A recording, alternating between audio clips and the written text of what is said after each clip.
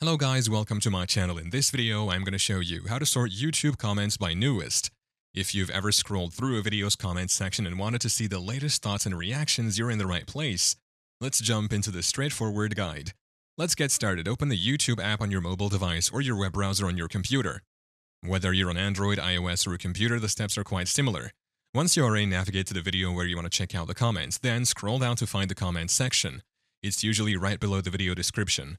Once you're in the comments section, look for the sorting option at the top of the comments section. This menu lets you choose how you want to sort the comments. Here, you'll see options like top and newest. By default, it is filtered to top comments. To see the most recent comments, select newest.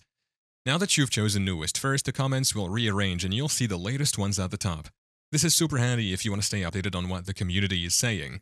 Bonus tip if you're engaging with your viewers or just want to respond to a specific comment, sorting by newest ensures you never miss a beat. And there you have it, folks. A quick and easy way to sort YouTube comments by newest.